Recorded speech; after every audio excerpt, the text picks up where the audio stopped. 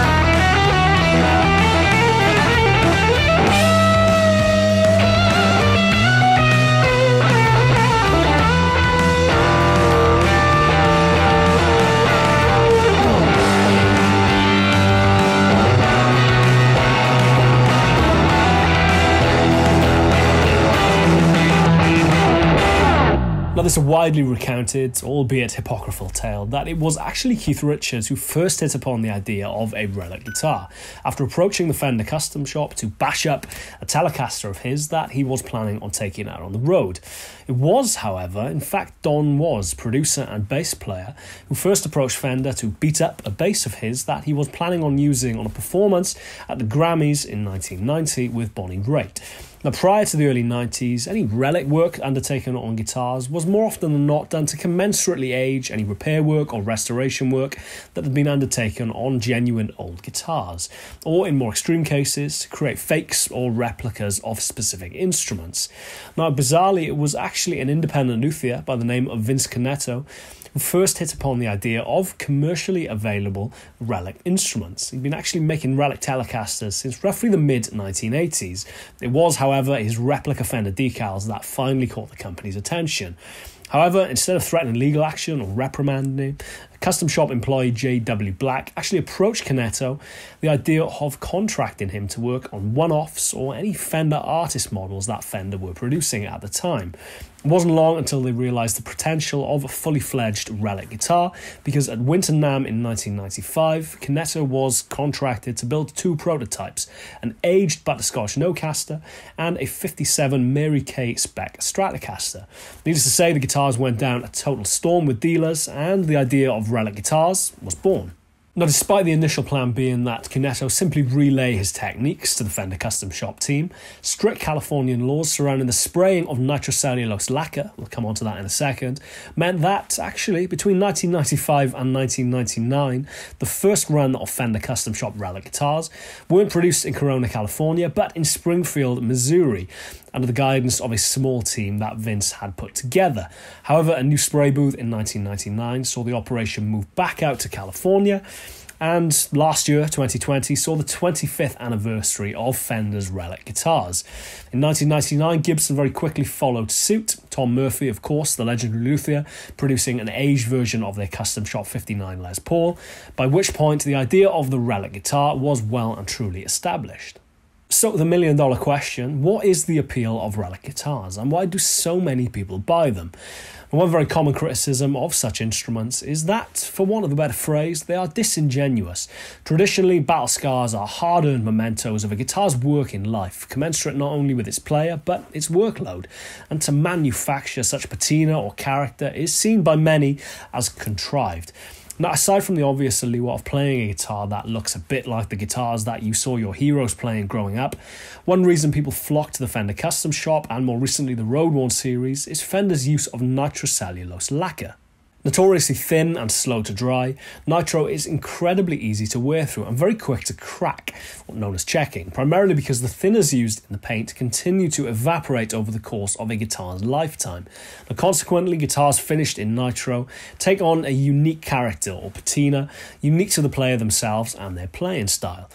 Comparatively, guitars finished in the much more common polyurethane, such as Fender's Ultra Series or Professional, is much thicker and much, much harder wearing, which means that within reason, a guitar produced tomorrow, if it's looked after, could pretty much look exactly the same in 40 years' time.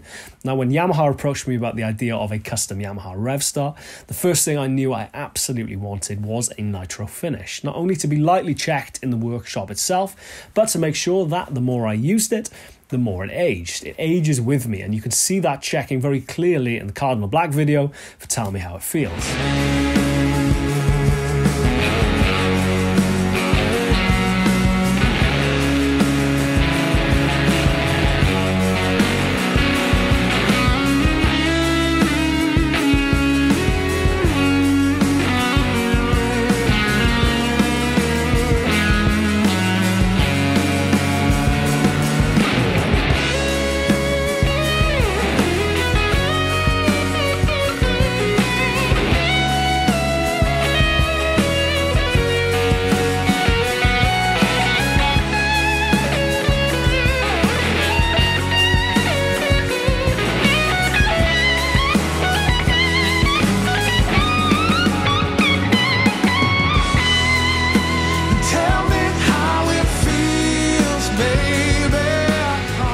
Now, I won't go into the purported tonal differences or benefits of nitrocellulose versus polyurethane, but suffice to say the debate still rages on to this day as to whether a thinner lacquer allows for more natural resonance within the guitar, thus making it sound better.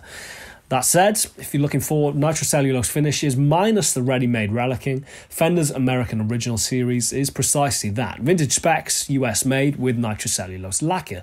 By comparison, the Road Worn series is made in Mexico, again with very similar specs. All the bodies, rosewood necks on the Jason Isbell Telecaster, at least 7 and a quarter inch radius fingerboards, and of course ready-made relicking. But it's worth saying the new Road Worn series actually come with nitro checking, whereas the old version didn't course, nitro checking can take decades to appear.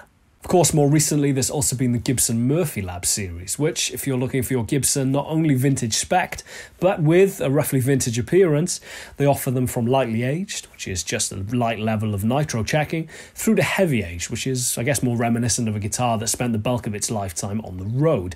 I guess ultimately, relic guitars cater to those who want the look and aesthetic appeal and character of a vintage instrument without the weight, worry, or more recently, the price tag which can be associated with those original instruments. As Jason Isbell says in the launch video for his signature Telecaster, a guitar that comes slightly beat up straight out of the box, for him at least, takes the worry out of playing it. As usual, though, it's really not something worth getting worked up about. Every guitar company that offers a relic version invariably offers a version without the relicking, usually for less money because of the reduced man hours involved, ironically, in producing a pristine guitar. If it's done tastefully, as with the Jason Isbell Telecaster, I must say I'm a big fan. Some of the heavier age models you see, I'm not particularly a fan of, it's just not something that appeals to me particularly, but if they weren't selling in massive quantities, the companies wouldn't be making them. And I guess one man's meatloaf is indeed another man's poison. The vibe and character and patina of a well loved or well used Strat, Tele, Les Paul, SG, whatever, is one of the reasons that's seen their value skyrocket in recent years, and for the most part at least, a relic guitar can offer a large degree of that character, or at least aesthetic allure, but for a fraction of the price. Or not, if you're not a fan. I guess it really is that simple. Now, I'm going to play you out on my 1980 Greco Super Real, Les Paul in essence. That, in the process of being refinished, was lightly relicked, I guess, or nitro checked at the very least. As ever, though, I'm Chris Buck. You're watching Friday Fretworks. Thank you very much for watching. Please subscribe, hit that bell icon, and I shall see you next week for another episode. Cheers, guys. Take care. I'll see you soon.